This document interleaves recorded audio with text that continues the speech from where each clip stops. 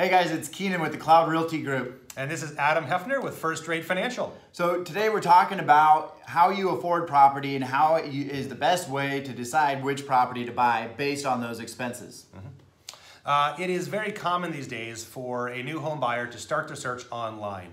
Uh, I know that before I buy anything in my life, I like to do a lot of online research in advance. And it's very common that the real estate transaction starts the same way.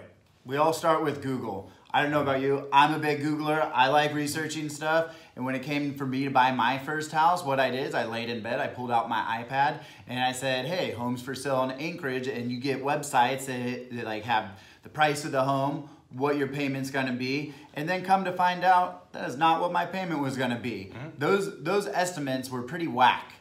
And why is that, Adam? That's a good question, Keenan. Uh, and it's very true. You should be cautious what you read and what you believe on the internet. That may be a shocker to some of you out there, but be wary where you get your information. Spoiler from. alert. Yeah. Uh, so a lot of things like Zillow and those those big data aggregation sites in other parts of the country they can be pretty accurate when it comes to uh, the cost or the value of the building, maybe even the mortgage payments as well. But up here in Alaska, we are a non-reporting state, and so we don't have the giant public pool of data that Zillow and the, uh, these other sites would pull from. So the governing authority doesn't know what we as public citizens are selling or buying our real estate for.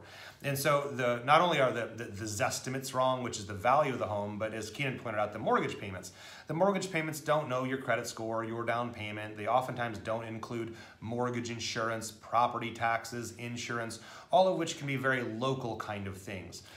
They could also just be a loan program that you would never want to use. I mean, mm -hmm. you know, mm-hmm. interest only loans and things like that. They're, it sounds really good and it's really sexy and it hooks you in and mm-hmm. gets your attention with that low payment.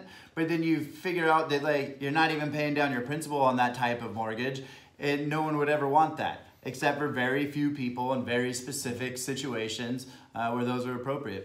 Exactly. And so through lots of experience and working with literally hundreds of buyers, we've decided that the best way to, to, to start this process of shopping for a home really is with a personal budget. So to dig into your own income numbers, figure out how much money you make, what are you spending that money on, uh, maybe you want to rehash maybe some of what you are prioritizing your dollars, uh, you know, what they're doing.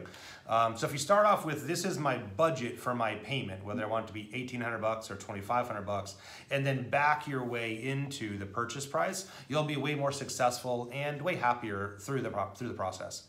Yeah, that's exactly right. Start with the payment that you want, not the house that you, that you want. Mm -hmm. uh, if you want to talk about the house that you want, great. We're still going to start with the payment on this first one, but we're going to help you come up with a plan to get you the house that you want. Mm -hmm. So when it comes to planning for building a, buying a home, building a home, investing in real estate, there's a lot of things to take into consideration, and Google doesn't have all the answers. But if you give us a call, we'll make sure that you're taken care of. Talk to you soon.